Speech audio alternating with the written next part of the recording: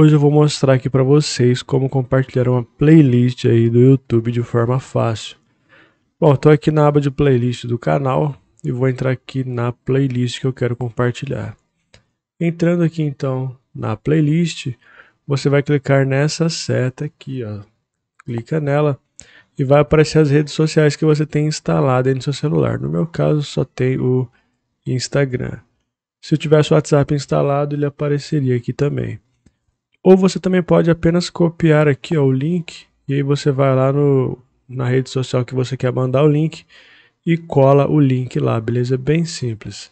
Então é isso, tirei sua dúvida, deixa o like, se inscreve e até mais.